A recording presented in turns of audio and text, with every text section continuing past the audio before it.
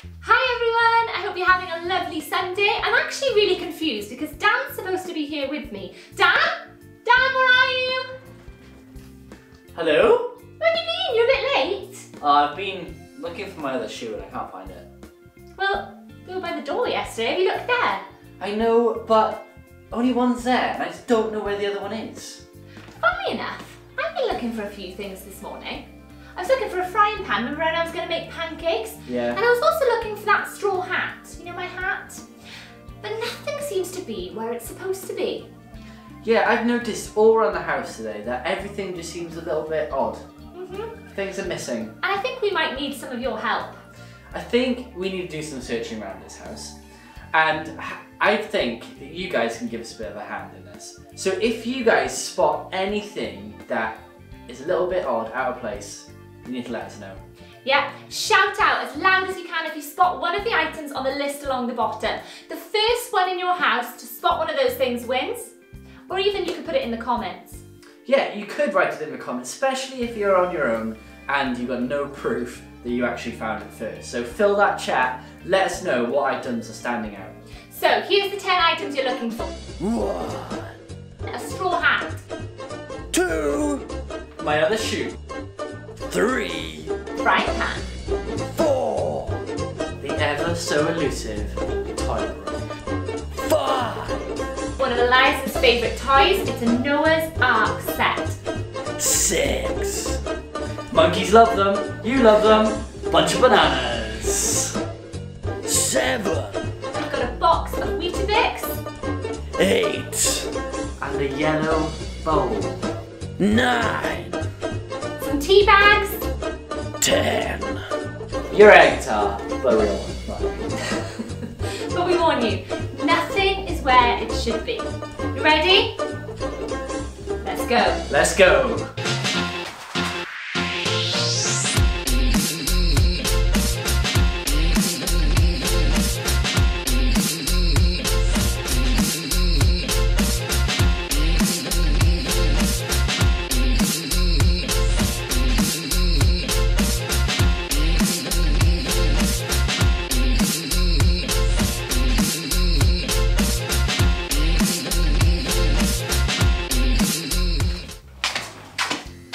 Found anything yet? No.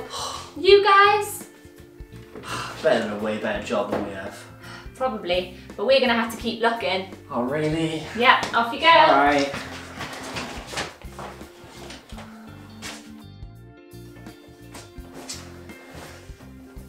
This reminds me of another one of my favourite Bible heroes, Elijah. He was born a prophet, which means he was an amazing teacher, but he also knew the Word of God, and he was able to hear from God directly. He often had long conversations with God, where God told him things about the future of the country that he was living in. One day, God told him to go out and go to a mountain and look for him because he wanted to tell him something. So that's what he did. He looked and he waited and he waited. And then along came a powerful wind. It was so powerful, it actually broke rocks apart. Wow! God is powerful. So he must have come in the wind, right? Wrong. God wasn't in the wind. Next came a strong earthquake, and it was so strong that it shook the whole land. Wow! God is strong too. He must have come in the earthquake, right? Wrong. God wasn't in the earthquake. Next came a huge fire. And fire is one of the toughest things ever, right? But guess what? God wasn't in the fire either. So where was he? When was he going to come and speak to our hero Elijah? And next came a whisper, still, small voice. And that is where God was. You see, sometimes we think that God is only in the big, powerful, amazing things. And even though He is big, amazing, and powerful, God also wants to be super close. Just like the items in our house, mm-hmm. God isn't always where you expect Him to be. Yeah, God's not just in church, although He is there. And He's not just in big cathedrals, He's there too. He's actually in our everyday lives. He's here with us now, and He's there with you too. He's with you when you're feeling a little sad. He's with you while you're playing outside in the garden having fun. He's even there with you while you eat your dinner. And not only is He there, but He actually wants to speak with us. Last week we were learning about how God wants to be our friend. But how could you be someone's friend or family if you don't want to talk? And that's why we pray to God. Praying is a kind of talking. And that's our part of the conversation. And it's also good to listen.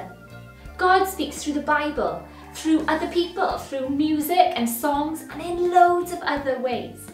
And having conversations with God was Elijah's favourite thing to do. And that's our hero this week. Up on the church website, you'll find all our resources for Elijah. There's worksheets, colouring, videos, and loads more, so go check it out. And there's also a memory verse. And that's what we're going to leave with today. This verse is from the book called Zephaniah, and it's chapter 3, verse 7. The, Lord your God is with you, a mighty one who will save. He will rejoice over you with gladness, and he will quiet you with his love. Bye, guys! See you later, guys. Bye.